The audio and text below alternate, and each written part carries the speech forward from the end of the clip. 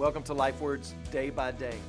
Today, we finish up our study of 1 Corinthians, where we have tried to walk through passage by passage this incredible book that Paul has given not just to the church at Corinth, but the Holy Spirit has given to us.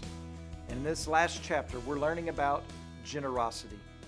We learned that Paul had a concern for people that were close to him and who were geographically far from him, that they would experience the comfort and the presence of the Lord, and that that need could be met by the Lord's people.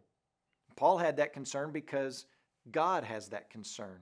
God desires to comfort his people with his presence that's manifested through his church.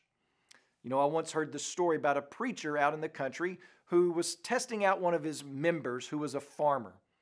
And the preacher asked him, he said, Joe, if you had 100 pigs, would you give 25 to the Lord? Well, yes, Pastor, I would. Well, what if, what if, Joe, you had 20 pigs? Would you give five to the Lord? You bet I would, Pastor. Well, Joe, how about if you had two pigs?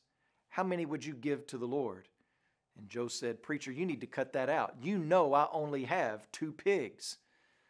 Well, the point of the story is that giving is easy when it's hypothetical. But once God asks us what we are going to do with what we actually have, we can begin to get a bit nervous.